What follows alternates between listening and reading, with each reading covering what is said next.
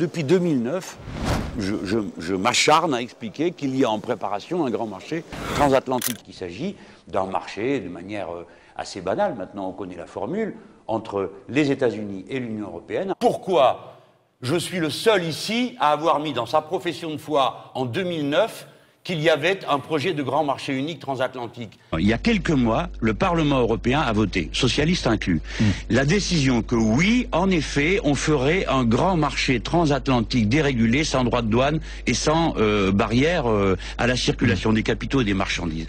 Vous le saviez? Non. Non. Les voici tous qui se réveillent et qui, après avoir voté tout ce qu'il fallait tout le temps sur tous les calendriers, tout d'un coup disent Ah ben non, c'est très dangereux, etc.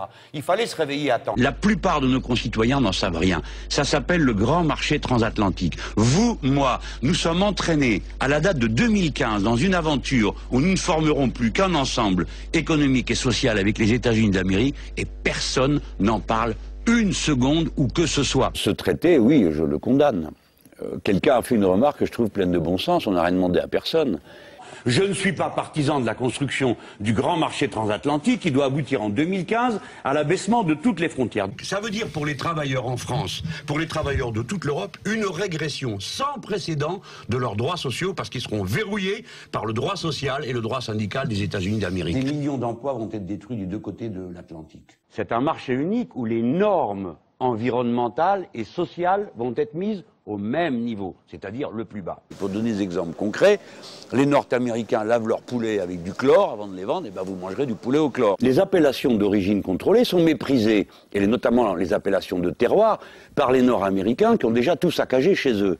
Donc ils ne comprennent même pas de quoi nous parlons. Et demain, eh bien, vous aurez du Chablis du Mississippi, vous aurez du champagne de l'Oklahoma. Voici ce qui est prévu dans le cadre de ce marché unique. Il faut faire du protectionnisme solidaire. C'est-à-dire, oui, il y a des produits, on ne les laisse pas entrer.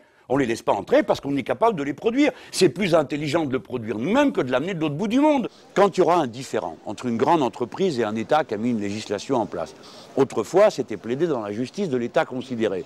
Eh bien non, dans cet accord, il est prévu que ce soit un tribunal privé. Les tribunaux d'arbitrage modifient le rapport de force géopolitique puisqu'ils mettent les nations en deuxième plan par rapport euh, à des tribunaux privés qui mettent au premier plan et sur un autre registre que celui du droit commun euh, les entreprises et les investisseurs. Là-dessus, on apprend que les Américains nous espionnent. Vous devriez interrompre la négociation puisque nous avons été espionnés, nous les Européens, dans la préparation de tous nos documents.